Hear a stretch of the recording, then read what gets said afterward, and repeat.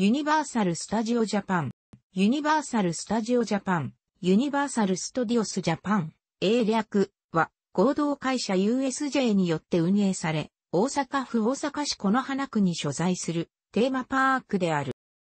ゲストの期待と想像をはるかに上回る興奮と感動のライドやショーのアトラクションによって、ジョーズ、ジュラシック・パーク・ザ・ライドなど、ハリウッド映画の世界を余すところなく体験できる。テーマパークとして2001年3月31日にオープンした。ユニバーサル映画で数多くの作品を手掛けたスティーブン・スピルバーグがパークのクリエイティブ総監督を務めている。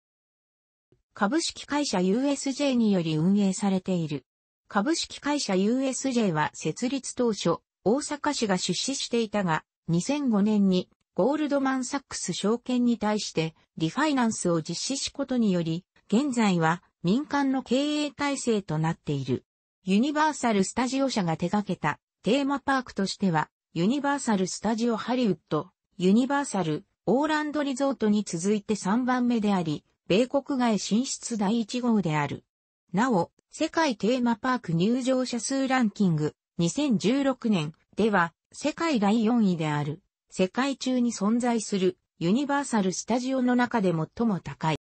オープン初年度は1、102万9000人のゲストが来場し、当時世界で最も早く1、00000人を達成した。その後は800万人程度で推移していたが、2011年度は開業10年で相次ぎイベントを仕掛けたことあり、さらなる好調基調に転じ、2011年度の来場者数は880万人に達した。2012年6月には年間スタジオパス所有者70万人達成。2012年度は昨年度を上回り975万人で1、00000人に到達する勢いであった。2012年10月29日に開業時からの累計来場者数が1億人を突破した。2013年度は2014年3月19日に開園史上2度目の1、00000人を達成し、開業以来の1、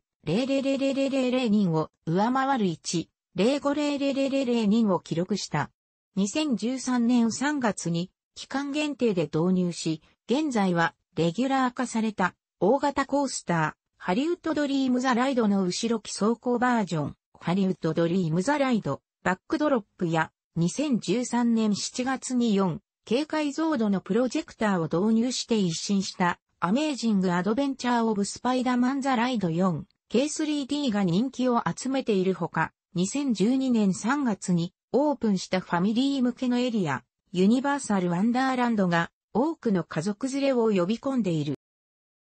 近年では世界的に人気を誇るアニメやゲームとのコラボレーションやシーズナルイベントの開催、アーティストによる音楽ライブなど様々なエンターテインメントも積極的に導入。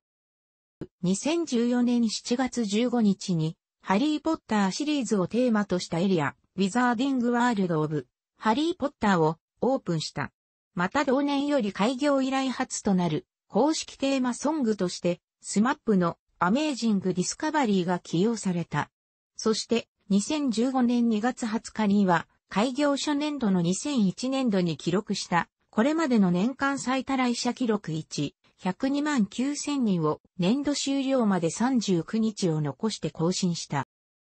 キャラクターはメインキャラクターのウッディ・ウッドペッカーのほか、セサミストリートやピーナッツのスヌーピー、ハローキティミニオンなどが活躍している。開業10周年となった2011年には、セサミストリートの新しいキャラクター、モッピーが登場した。2017年には、ミニオンズが登場した。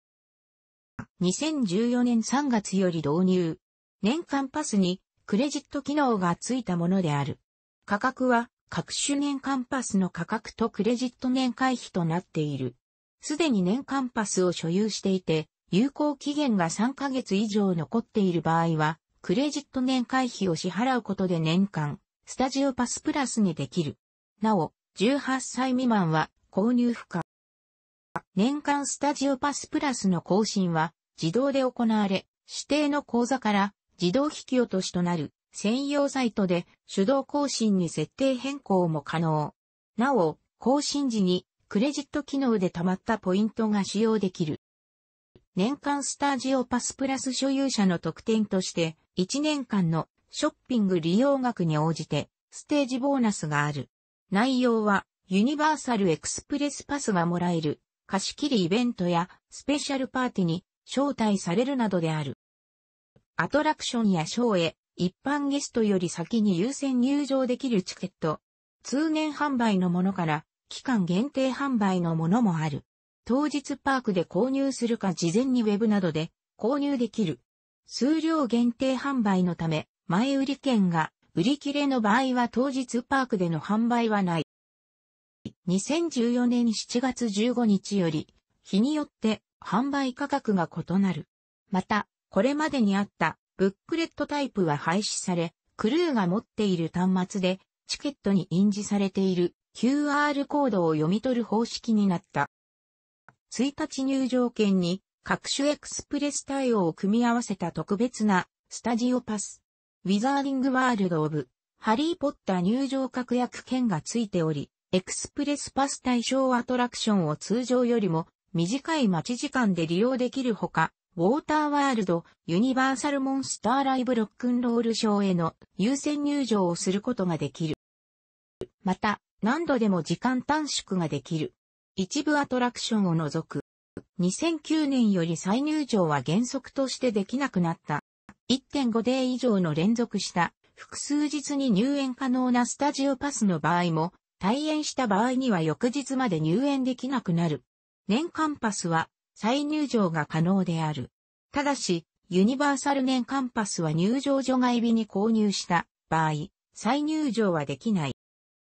シングルライダーとは、ライドの空席に一人で乗車する人を優先的に案内してもらうことで、待ち時間を短縮できるサービス。時間帯や混雑状況によっては実施していない場合もある。ユニバーサルワンダーランド内の一部アトラクションにて、あらかじめ希望の乗車時間を指定予約し、指定の時間内に予約したアトラクションのところに来れば、通常の列に並ぶことなく、優先的に案内さるサービス。もともとは2013年7月下旬から9月上旬に、ユニバーサルワンダーランド予約システムとして、期間限定で導入されたものが、公表により2014年3月より正式に導入された。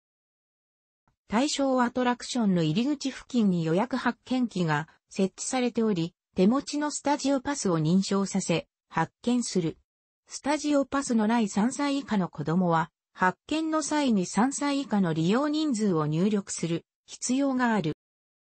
身長制限などが満たしておらずアトラクションを利用できない連れと一緒の場合、1回の待ち時間で交互にアトラクションが利用できるサービス。疾患や年齢等事情がある場合は、大人同士でも利用できる。レストラン優先案内サービスは、あらかじめ来店時間を指定しておくと、少ない待ち時間で優先的に席に案内されるサービスである。対象レストランは次の4点である。2016年4月1日より、レストラン優先案内のウェブ受付が開始され、電話受付は2016年3月31日で終了した。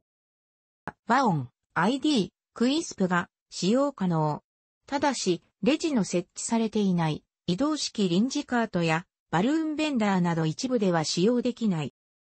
パークはエントランスを含む9つのエリアに分かれて構成されており、それぞれのエリアでアメリカ各地の街並みや映画の舞台となった場所の風景などが再現されている。ハリウッドの街並みや映画スタジオがイメージされている。エリア内には映画プリティウーマンなどの撮影セットを再現した建物が立ち並ぶ。1930年代のニューヨークの街並みがイメージされている。エリア内にあるグラマシーパークではスペシャルイベントのパレードショーなどが行われる。アメリカ西海岸の港町をイメージしたエリア。映画、ジュラシックパークの舞台であるジャングルの風景を再現したエリア。パーク中央に位置する湖。2006年から2010年までの間、ピーターパンのネバーランドを開催していた。スティーブン・スピルバーグ監督の映画、ジョーズの舞台である田舎町アミティの風景を再現している。記念撮影用の巨大なサメのオブジェがある。ケビン・コスナー主演の映画、ウォーターワールドに登場する水上要塞が再現され、映画撮影に実際に使われた水上バイクが展示されている。アクションの振り付けはアメリカのユニバーサル、スタジオと概ね同じである。エリア内は潮風で錆びれたような作りになっており、スタンバイエリア、マッチ列にはアトラクションの協賛をしているコカ・コーラの文字が各国の言葉で書かれている。2012年3月16日にオープンのエリア、開業当初のウエスタンエリアからランドオブオズを経てリニューアルされた。ランドオブオズのスペースを主体とし、以前からあったスヌーピースタジオのスペースも一部とされている。このエリアはファミリー向けの人気キャラクターたちの住む街をイージしたエリアで開業10周年のフィナーレを飾るエリアである。また、このエリアはスヌーピー、ハローキティ、セサミストリートの3つのゾーンで構成され、総面積は約3万平方メートルにもなり、ランドオブオズよりも広いエリアとなった。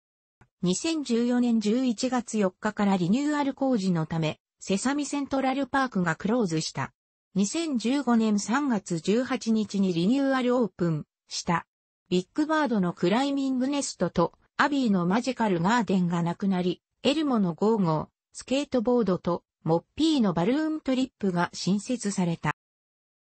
映画、ハリーポッターの世界を忠実に再現したエリアで魔法界とされる。2014年7月15日にグランドオープンした。映画と同様の美術スタッフが監修と設計を行い、映画に登場するホグワーツ城、ホグズミード村やオリバンダーの店などが実際にある。映画、怪盗グルーシリーズに登場するミニオンがテーマのエリア。世界にあるミニオンパークの中では最大の敷地面積を誇る。アトラクション、バックトゥザフューチャーザライドとその周辺のエリアを改装し、2017年4月21日にグランドオープンした。それより前の2015年3月6日にミニオンのグッズのショップ、ミニオンマートなどを含む新エリア、ミニオンプラザがバックトゥザフューチャーザライドの前にオープンしていた。企業がユニバーサル・スタジオ・ジャパンのアトラクションや施設に協賛し、相互にマーケティング活動を行っている。具体的には、パートナー企業の商品を使用、アトラクション内外での看板の設置、Q ラインにモニターを設置しているアトラクションでは、企業ロゴやビジョンが映されるなどである。パーク敷地内には、イオン銀行と三井住友銀行が出張所を出店している。かつては三菱東京 UFJ 銀行、UFJ 銀行時代から所在やリソナ銀行が出店していたが、2018年までに撤退している。ユニバーサルシティポート、船着き場から徒歩数分。大阪、伊丹空港や関西国際空港、神戸市内など近在都市からの直通バスや関東、東海、中国、四国、九州地方からの長距離高速バスがある。楽しくご覧になりましたら、購読と良いです。クリックしてください。